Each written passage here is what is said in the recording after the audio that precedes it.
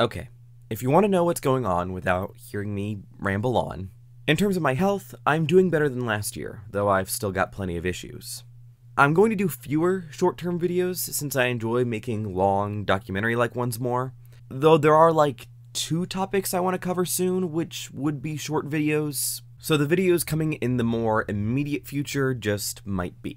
I'm actually working on three, three and a half long term videos right now.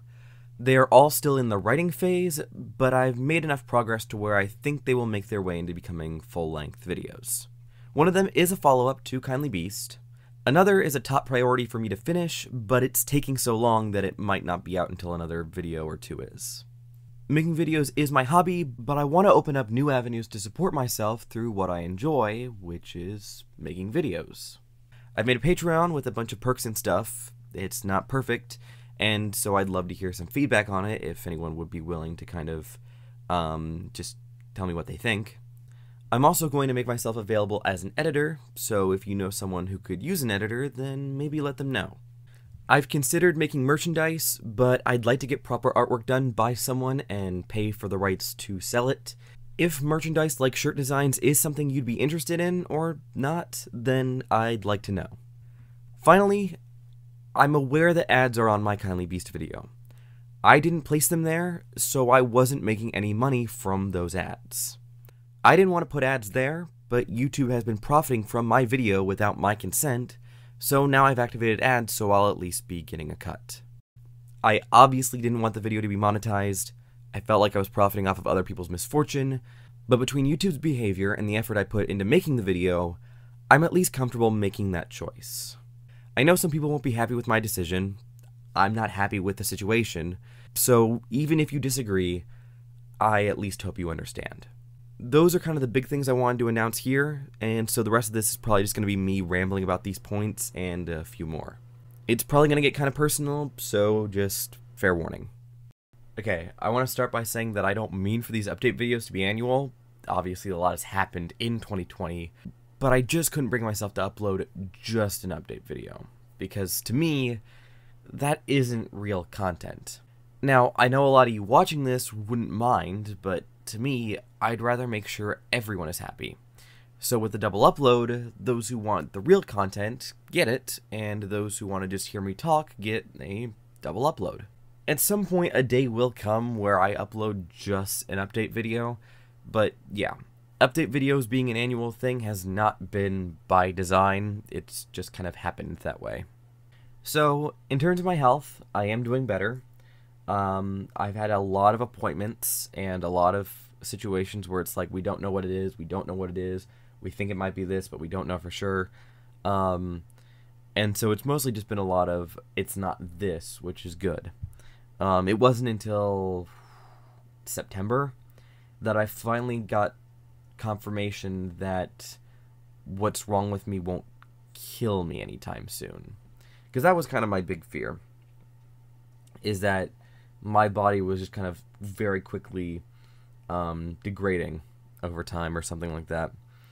Um, but to have an illness that starts off in like 2020 of all the years with a global pandemic and having a compromised immune system, there was a bit of time where I genuinely thought I was maybe going to die.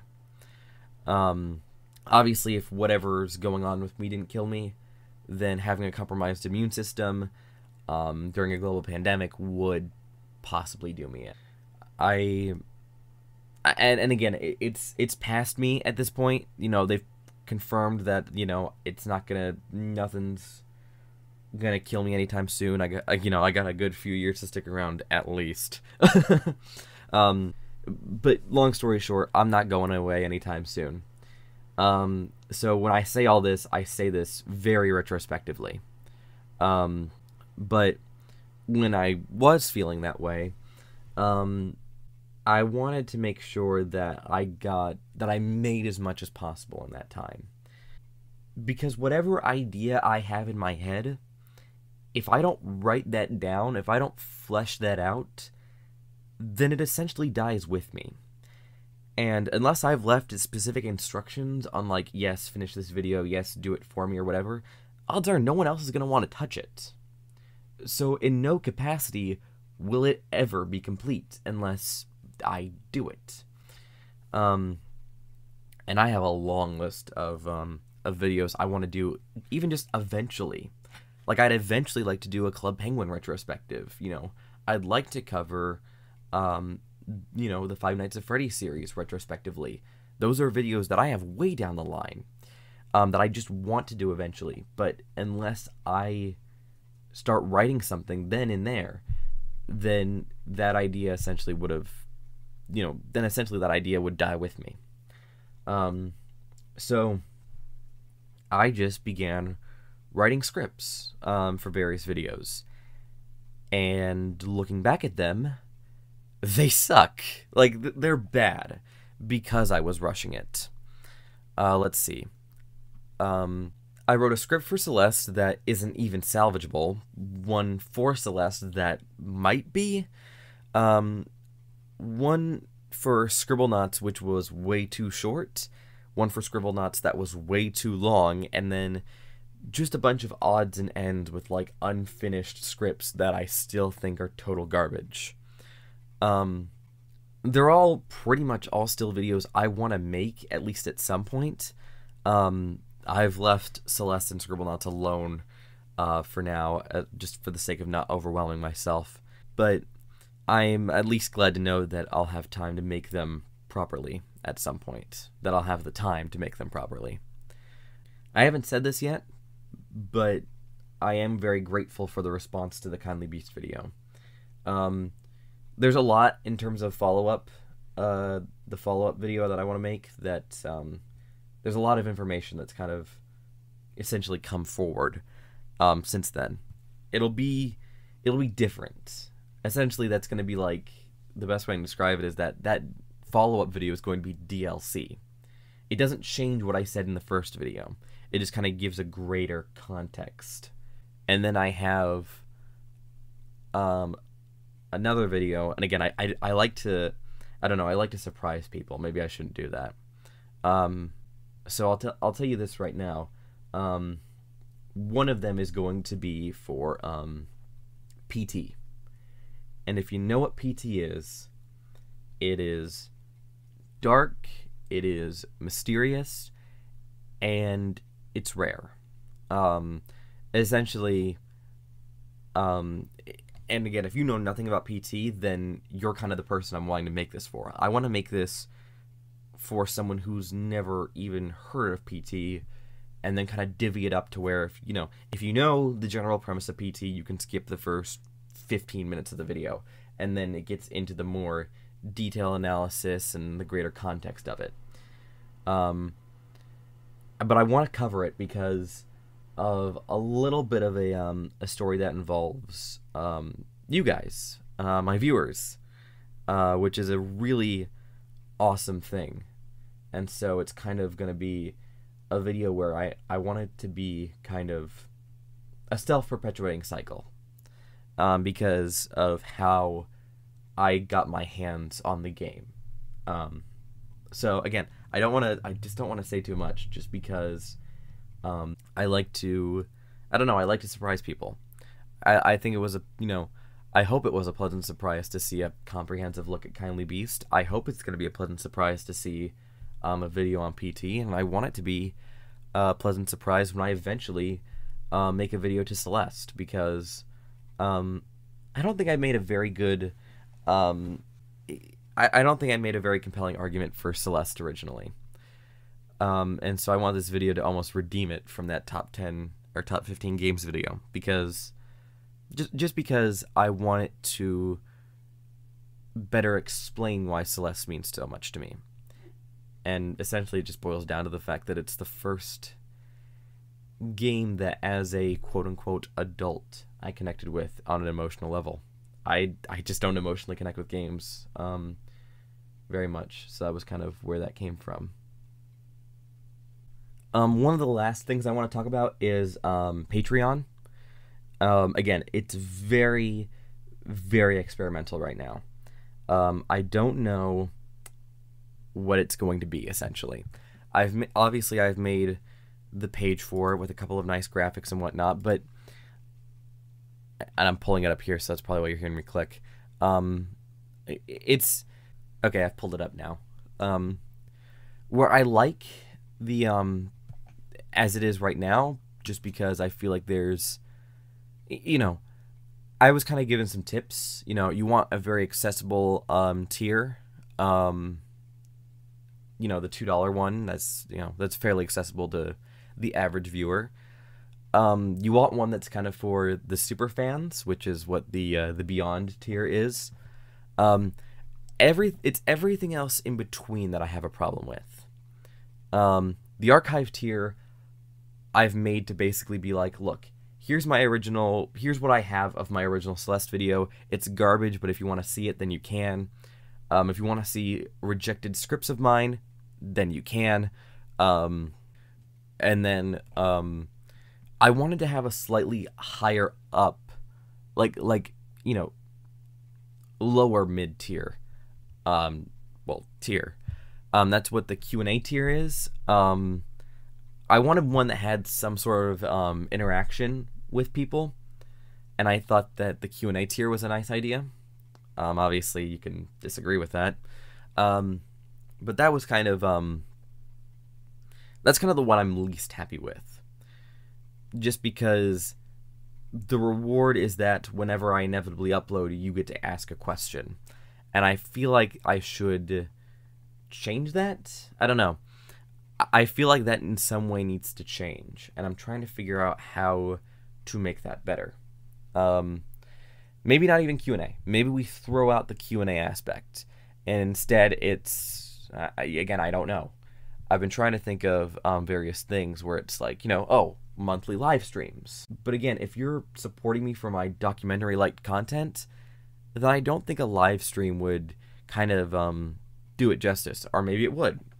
I, like that's the thing is that I'm making this for you guys, and so um, so basically, whatever you think would be a good idea and also proportionate to the value, then you know throw it my way. Just you know spitball ideas. I don't really mind. I'm just trying to figure out you know what what's appealing.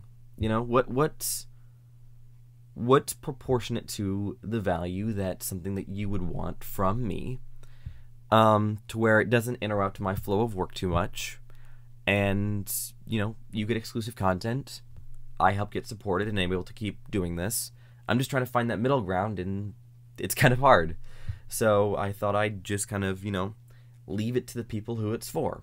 If you got any recommendations, then yeah, throw them my way. Um, and so to move on past that to the other talking point, um, merchandise. I don't, I don't want like as nice it would be to have a U2s of Chris Portal. You know, that's not exactly what I'm aiming for here. You know, if I would want a cool design. I want it to be something that like you look at and it you don't have to know what it is. I don't want it to be like Klondike where it's like it's a shirt with a logo on it. Like I don't want that. I want it to be like you know, oh, this looks like a cool Cuphead design or this looks like a cool Bendy design or this looks like a cool Scribblenauts design where it's not inherently the fact that it is Chris Portal. It's the fact that it is a cool looking shirt. Um, I haven't asked them yet, but I have an artist in mind that I'd love. I would love to work with them um, on making a little bit of merchandise, just a couple of shirts or something. And so I'm hoping to do that eventually. Um, but yeah, I wanted to make it clear that I'm not just going to slap my name and a logo um, on a shirt. I know that's what some people want, so I might just do that but I want it to be a higher caliber of quality. I don't want something as pathetic as just my name on a shirt. That's just kind of sad to me. I would want it to be, again, something you can wear, and even if you don't know me or don't watch my content or whatever, you still like the look of the shirt. Like like that's still a cool shirt design, and so you may want to buy it. So yeah, I wanted to better clarify. Oh, that'd be cool. I would love to have a little lapel pin. I'll put a picture up. I have a board of pins from various games that I've played over the years. Um, some of them came with the game, some of them I bought afterwards. Um, but I have just a pin board collection of games that have I like that have sold pins. Um, and so yeah, I would love to have a little Chris Portal uh, icon pin. You know, like a little, little head um, or something. Um, so yeah, um, that's kind of what I mean when I say merchandise. I don't mean, like I said, I, I want it to be not even like a higher quality in the sense of like the material, but a higher quality in the sense of the design. So, yeah, just wanted to help clarify that because I think anyone can make merch, but I want mine to be more than a logo, more than a name, more than some inside joke. I want it to be a design that even if you don't know me, don't watch me, don't watch my content, don't even know what the shirt is exactly referencing, it looks nice. It's not, you know, you're not ashamed to wear it in public or something. Um, so yeah, that's kind of the end of that. And then the final avenue of, you know, making money off of what little skill set I have um, is um, editing. I realized that, you know, I follow a lot of creators on Twitter. Every now and again, they, you know, they open spots for new editors. Um, Saberspark recently um, got a new editor hired, and then um, Arlo did a little while back. I would love to work for a YouTube, you know, a fellow YouTube essayist or whatever you want to call them, just another creator um, who makes quality content in the same vein. Now, I've edited Let's Plays before. You, you know, I have one on this channel, the stick fight one, um, and so I can do that. Um, I'm fine with whatever. I just I would love to work with or for or whatever. Um, I would love to be the editor for a um, a bigger name content creator. Not you know, because again, I want it to be a paid gig. Um, obviously, uh, that sounded really weird. Um, but yeah, you don't you don't do editing for free. Obviously, um, I'd want to discuss it with whoever I'm working with. Um, and so I'd like to kind of do that as well because even you know if people don't like my content then i can still make sure that i'm adding a certain level of quality to someone else's. And as a job that can be feasible. Obviously i don't i don't need a job right now. Um you know oh my dog wants in obviously i don't need a job right now um you know i got classes and everything else um, to keep me busy and preoccupied. But it would be nice to make sure that I'm taking advantage of every opportunity that even could come my way. Not even the ones that, you know, present themselves on a, you know, silver platter. Like the, I want to take every opportunity I can find to take my skill set and make sure that I'm, you know, getting value out of it. Again, I don't want to I don't want to make it sound like I'm money hungry or anything because that's not what I'm getting at. What I'm trying to get at is that you know it's all going to sound selfish. I don't know why I'm trying here. I'm having a hard time articulating it, but I think you may understand what I mean when I say that I want to you know, do money doing what I enjoy doing and doing something that I'm moderately good at. I don't think that there's anything too inherently selfish or greedy in saying that. That's why I'm opening up Patreon. That's why I'm trying to work on merchandise. That's why I'm willing to be someone's editor because at the end of the day, video creating is something I really enjoy. And if it's something you can get paid to do, then that's great. Um, I want to try and take advantage of an opportunity that may come my way from it. But I have to make sure that I'm, you know, open to those opportunities, that I make it clear that I'm willing to do that.